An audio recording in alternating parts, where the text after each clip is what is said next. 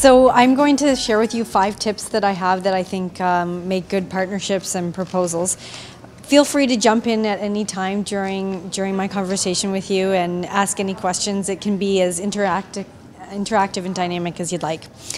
So my first tip is to write a partnership proposal and not a transactional sponsorship proposal. more and more corporations are looking for opportunities to create meaningful and relative relationships and partnerships. And what I mean by when I say meaningful is to have a have a relationship that goes beyond the relationship between the two partners, but actually reaches out to the relationship of the stakeholders and provides them with something that is rich in benefit and relevant to them. In the case of the in the case of TELUS, we are currently on a, a strategy that we call customer first. So this is a long journey that we've been on since 2010. And in order to succeed in this journey, we really try and formulate strong partnerships. Because in formulating strong partnerships, we, we find that we're able to cre create unique and valuable experiences for the people who are consuming the sponsored events or art or what have you. Um, although it's important to follow the guidelines for application, so for example at TELUS and I know in, in many other websites, you'll find an application process where you can go through the online process and your application gets spit into a system that automatically rates you, grades you, puts you into the yes or no pile and um, it is important to actually go through and follow that procedure. However, I would recommend going beyond that procedure. For the partnerships and the um, sponsorships that I've been involved in, you have to be a part of, of that system so that we have your information and we can track you. But it's important to reach out in a unique and dynamic way, especially through relationships.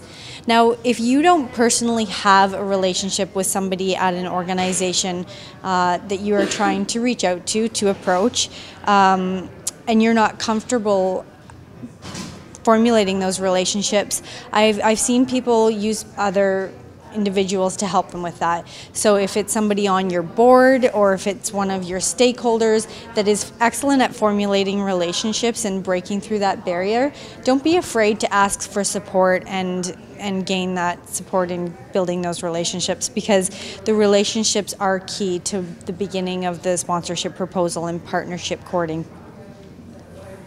One of the last points on the sheet that I wanted to talk about here was transactional sponsorships and what I mean by that and why I think that it's important to go beyond transactional sponsorships.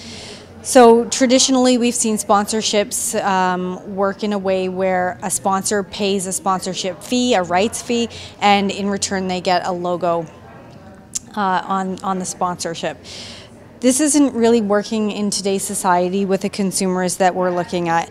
The consumers are expecting more entertainment and more rich experience. And as a sponsor, we're expected to provide them with that experience. We're expected to be able to put on amazing activations and, and really do some experiential marketing with our sponsors. So as a partner who is, or as an artist who is approaching a, a sponsorship, it's important to have in the back of your mind what those potentials can be in terms of um, activations and experiential marketing and understanding that you're going to eventually go beyond the sponsorship and into a relationship that is a true partnership. Is there any questions on that? No? Yes, so the transactional sponsorship. Yeah, so for example, um, we, um, trying to think of one that I've done recently.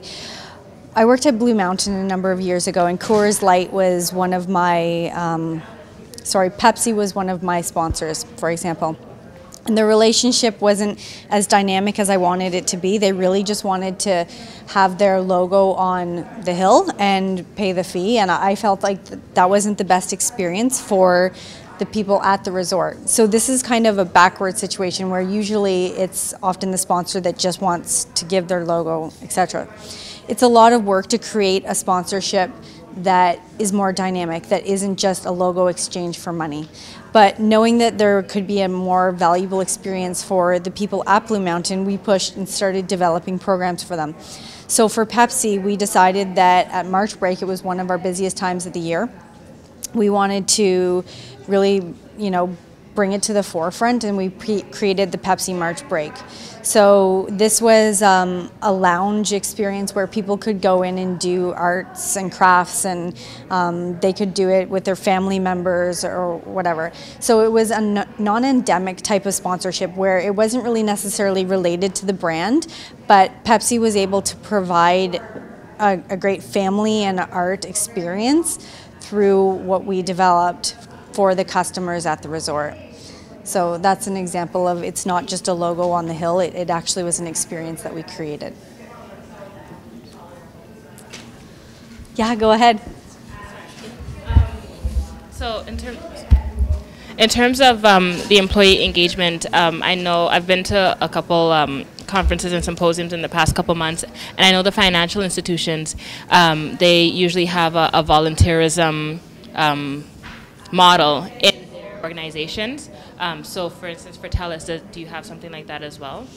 Yes. So we have uh, our our our staff have volunteered over 4 million hours since 2006.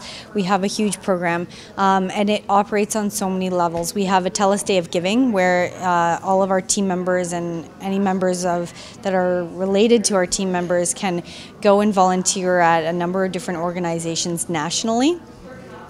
And we have matching programs where our employees can uh, do over 50 hours of work and they'll receive a grant from TELUS to go towards the organization of their choice. So there's a number, a lot of, a, a vast number of programs in TELUS that work towards creating volunteer hours like that.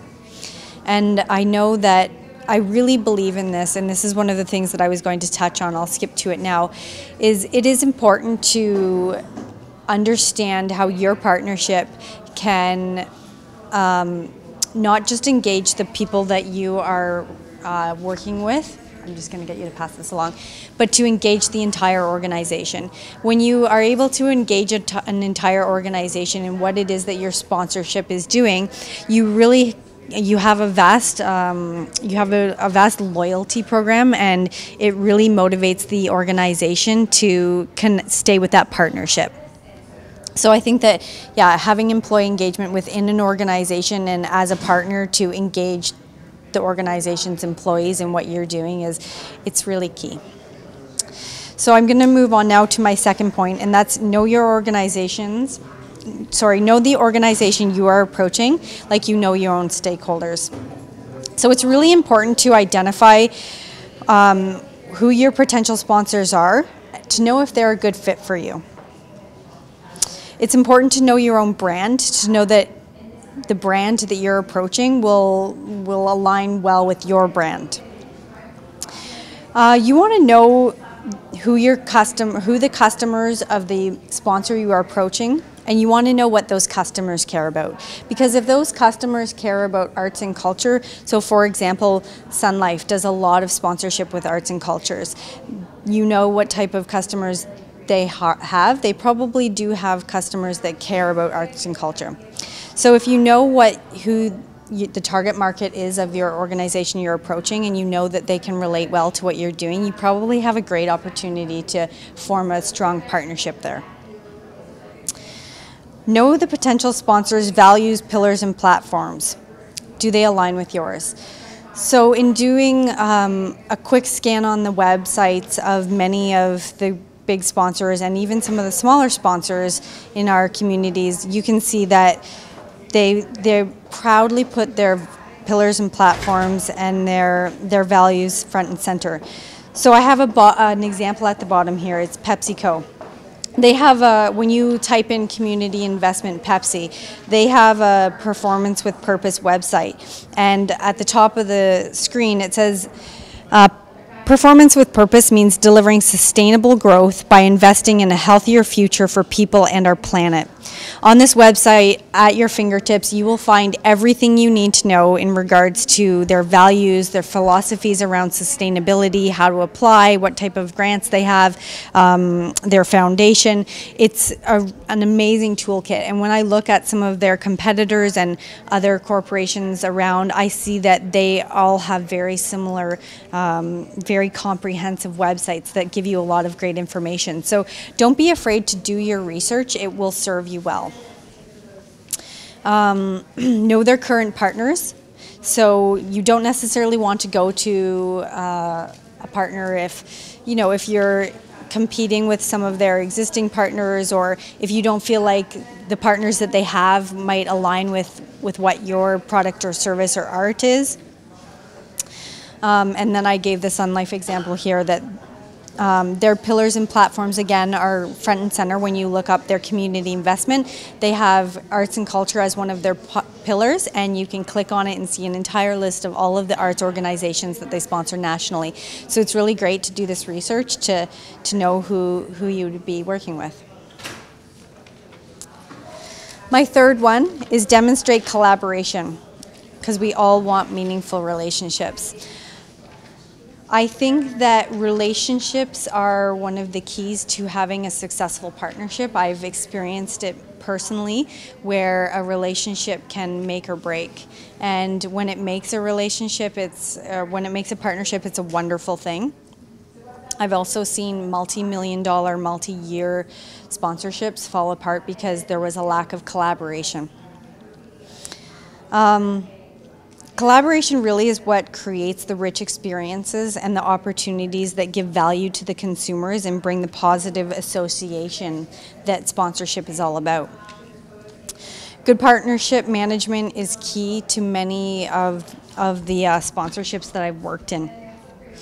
I think that it is built through trust, good communication, understanding each other's strategies, um, so on that note, it's really great to go into your partner and understand what your strategy is and understand how you can clearly convey that strategy to your partner so that they can work with you, share their strategy, and you can build an alignment there. Corporations want meaningful relationships with their customers, and you are the key to that. You hold the key to helping corporations build relationships in different capacities in new ways.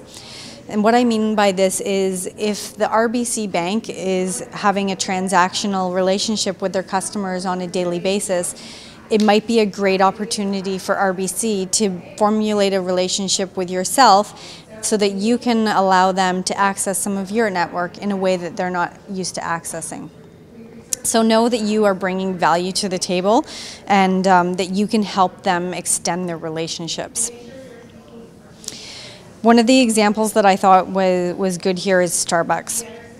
Starbucks is great at collaborating with their partners. Um, I feel like they're one of the best philanthropist and community investment examples that we have today. When you go to their their website, you can see programs like fostering education in China, rebuilding golf course Coast. These are national programs that run, but they also have incredible local community programs, um, such as their Global Month of Service, where excuse me, where they'll work with different organizations, grassroots in the communities. So I feel like Starbucks does a really great job of collaborating with their partnerships on multi levels. Um, another another um, point that I wanted to make that is that it's it's important to learn how to collaborate in different capacities and maybe think outside of the box. So Home Depot has a grant system where they will grant um, individuals and organizations um, building fund. So you can build a, a, building or a house or whatever it is that you want. It's a great idea to think not only about gaining sponsorship that is just in funding and in money, but in other ways that might be outside of the box as well. So if you if you needed a building fund and so yeah, it's important to collaborate not just on the level of trying to again have a transactional relationship, but to go beyond. Any questions? The value proposition. So I, I wanted to start this by asking, um, how many of you have done any return on investment calculators or worked? No? Okay. So maybe I'll, I probably will start this and I'll go straight to the beginning. So um, corporations have fewer and fewer dollars to allocate towards sponsorships. We're all getting squeezed. Our budgets are all being cut, and that's just the sad reality. Um, and it's tough because so is the so is the uh, private sector also being cut in their budgets. So it is really important for you to be able to prove value. And the reason is is that corporations want to understand and ensure that they're getting the most investment for themselves, but also for their partners. So measuring sponsorship ROI is a science, and um, but it's not a science that's hard to learn. It's quite easy. So I break it down into two factors. You have qualitative and quantitative, and everything can be measured. So for example, in quantitative, I measure impressions. I will measure impressions of advertising through mass advertising. I will measure impressions through interactions that my that my um, sponsorships have with um, with individuals in the community through activations and experiential marketing. I will measure how many pieces of swag we were able to get out. I will measure how much media we got. I'll draw all of those measurements together and I'll assign them each of them a different value. So for example, a billboard hit gets 0.002%. An interaction with a customer at one of my events gets $2 giving a swag item get, gets $2.50.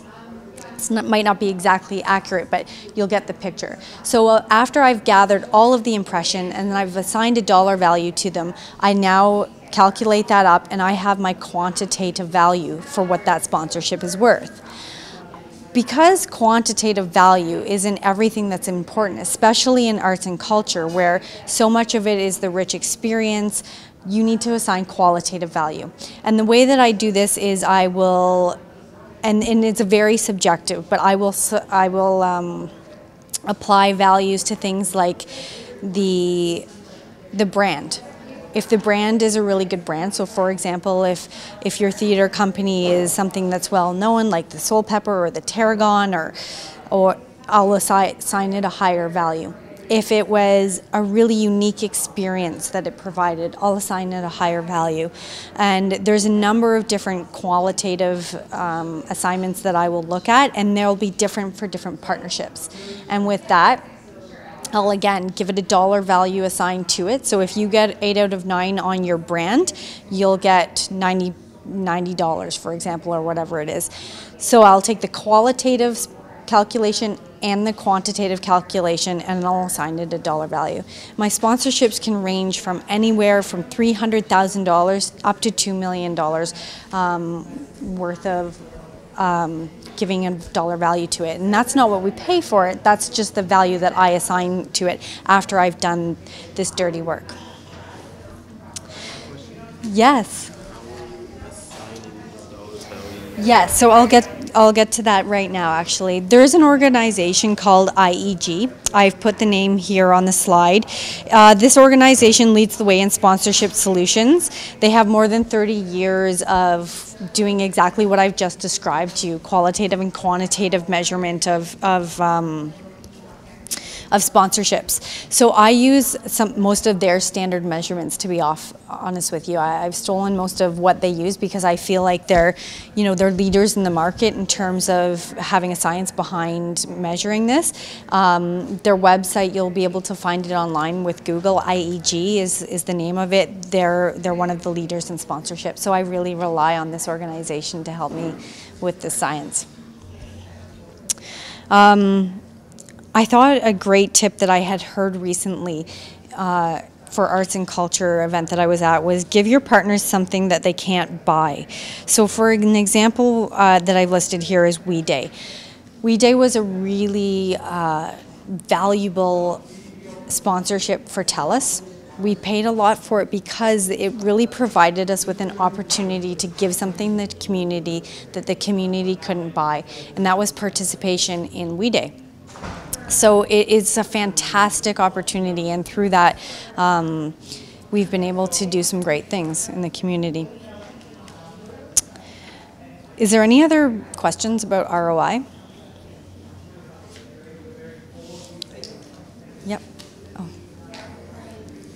Are you, because obviously you see a lot of proposals coming in, are you seeing more, because um, I know traditionally a lot of people say, uh, here are the things we can offer you. You can have this many impressions, you can have uh, your product at our events or things like that.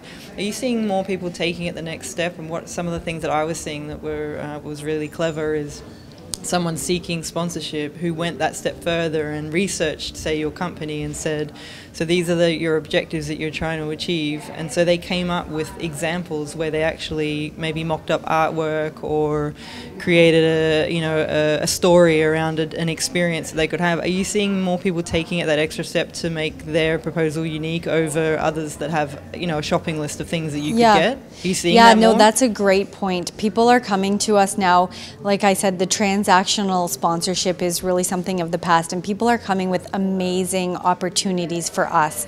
They're really getting to know who TELUS is and what we do before they approach us, and they're approaching us with social media campaigns, which I'll get to, and they're approaching us with exactly like like you've described in different capacities for for value that they can bring. And so the shopping list of sponsor benefits is it's still something that's important to us because some of those core benefits we need, but um, it definitely is extending before, beyond those core benefits of, of impressions and tickets or whatever the tr- traditional benefits are. Do you want to ask a question? Okay, so on to my last point. Take your sponsorship or proposal beyond the sponsorship. So that's exactly what I was just getting at. Cause marketing, CSR, sustainability, and branding. They're all so important to the sponsorship nowadays. It's not just about that transactional sponsorship again. Um, relationships need to be leveraged through multiple communication streams and media markets. So when you're building a proposal, you really need to think about how your artwork or your product or your service is going to get out to the marketplace? Is it going to be able to be viral through social media? Can you Pinterest it, tweet it, Facebook it? Um, and how is that going to look and what is that going to do so for example I, i've put here i love it when partners come forward with ideas for cause marketing and I'm always happy to front resources to help them get their brand to my customers so that my customers develop a great brand association with me and my partners. Because really, when you're able to just go beyond that sponsorship and you get into cause marketing and, and sustainability and branding, these things that create feelings and relationships, that's when you get that positive brand association, which is so valuable.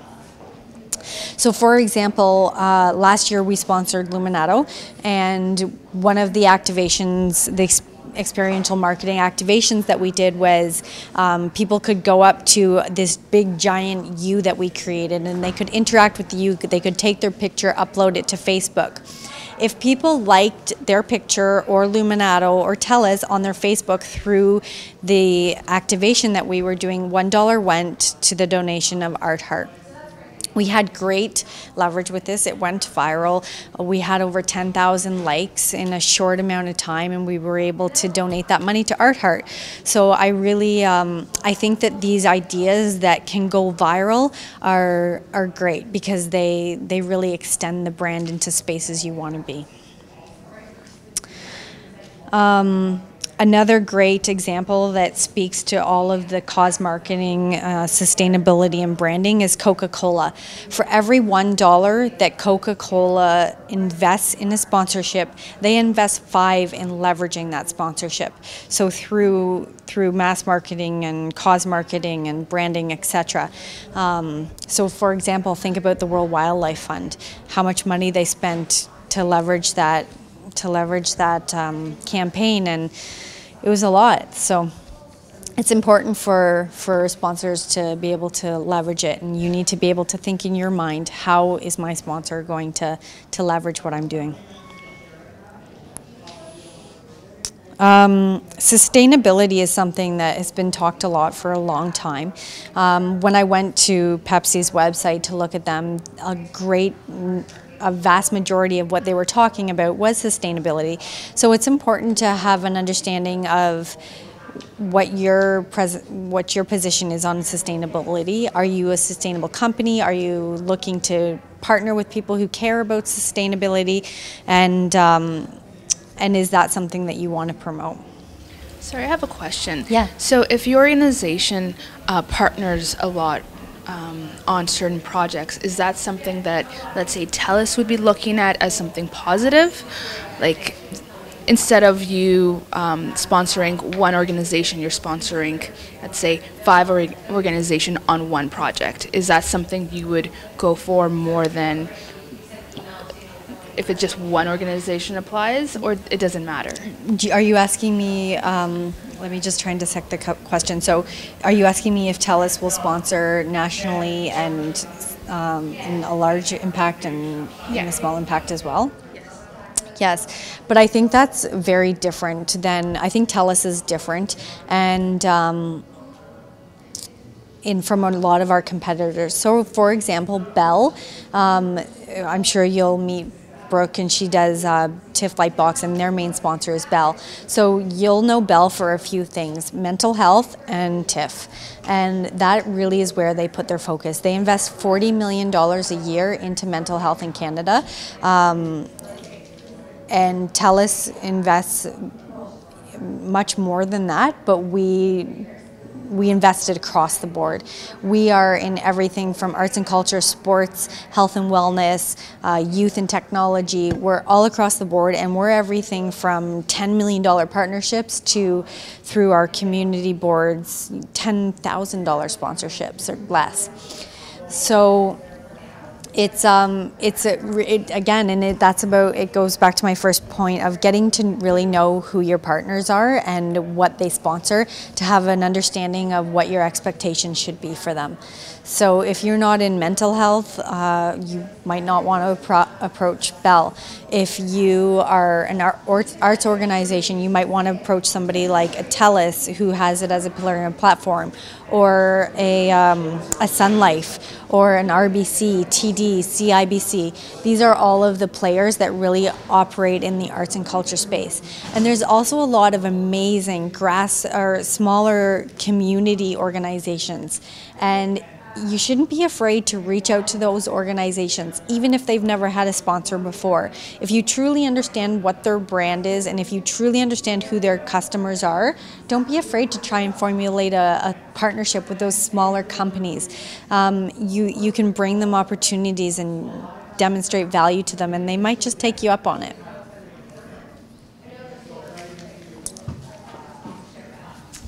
Actually have a couple of questions. Yes. So um, they're just kind of building up as, as you were speaking. But my first question would be like, what is your sponsor cycle? Like, you know how some people like they have deadlines for for um, applications. So what is yours for TELUS typically?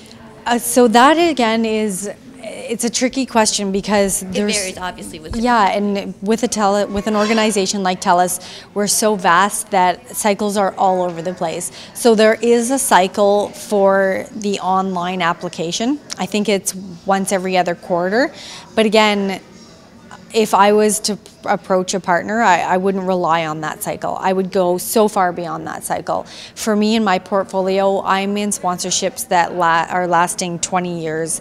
Um, so uh, I'll have expirations in 2014 and 2024, and um, so my cycle is much different than some of the other portfolio holders.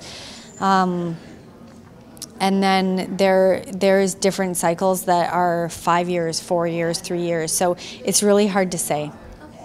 And then my next question would be, um, like when you do sponsorship for, uh, is it all charity status, or do you like do you have to hold charity status, or can you hold a nonprofit status, or?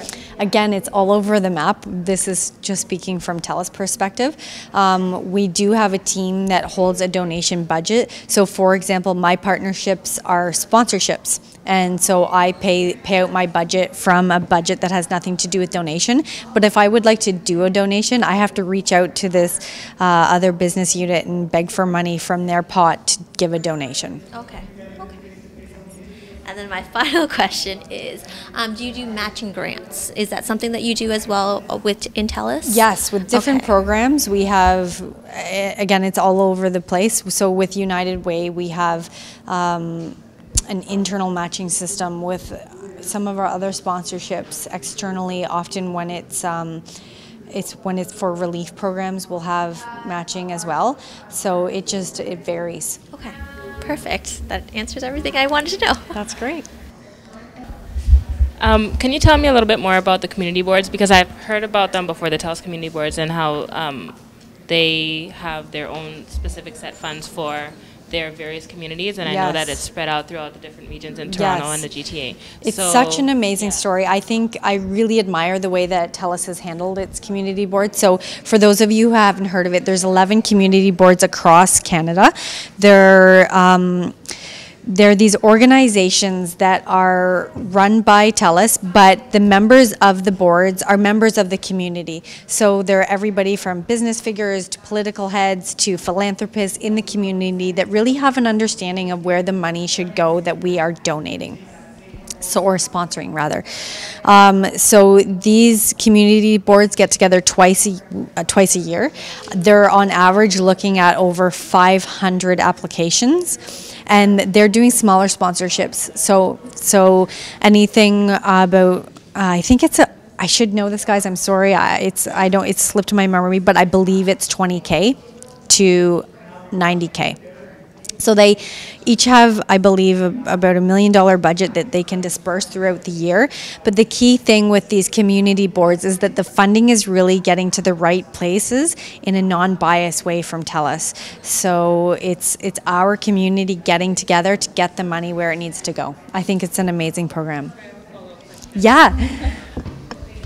Um, so to get to get um, a proposal into the, a community board, is it going through the sponsorships um, Portal. segue, or is it going into a specific? Um, I, again, I'm sorry. I believe it is on our website. So what I'll do is my name is on the front of this uh, propos- proposal. Yeah, and I'll find you Please join join me on LinkedIn, and I will send you the link online to where you can find that. okay, thank you. Yeah. And for all of you, please join me on LinkedIn. I'd be happy to continue this dialogue with you. This is somewhat specific. Yes. This hall over here, uh, they have, they've been given naming, uh, they've been given a naming opportunity. Okay. If you were given that opportunity, how would you value it?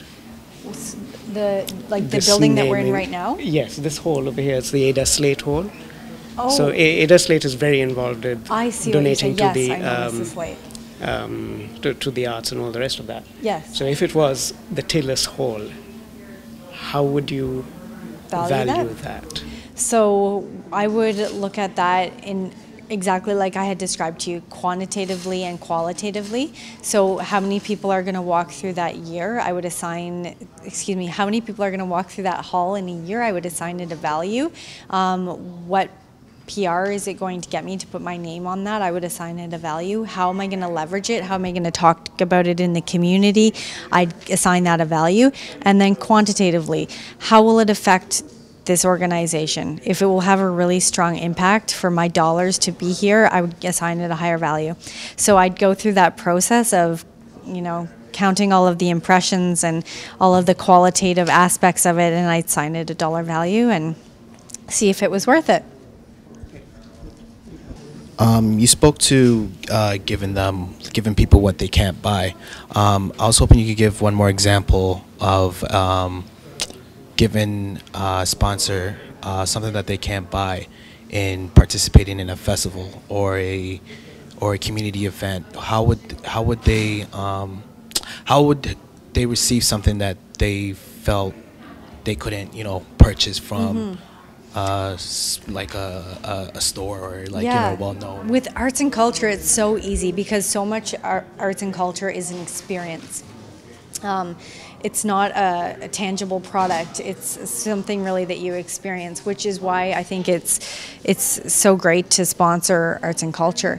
So, for example, um, if we wanted to I'm trying to think. There's so many different ways that we've, you know, we've purchased um, performances and um, been able to donate them to the community. So something that maybe the community couldn't afford. Um, or if there's a special piece of art, it's a one of a kind. Uh, I know TELUS has purchased art because um, it's something special, and yeah, so different examples. I, I haven't seen this very much in, in Canada. I've seen it um, more in the States and even in Europe. But um, what are your thoughts on sponsorships for individuals. So not organizations, but more if I'm an artist. Yeah, no, I think I think it's if you have a brand that is valuable and you have something to offer, you should go forth and seek sponsorship. Um, and if there's the right alignment with a partner, then that's wonderful. I mean, I'm sure there's incidents at TELUS. I can't think of any off the top of my head, or other organizations that I've worked with where spon- where individuals have been sponsored. Okay, thank you.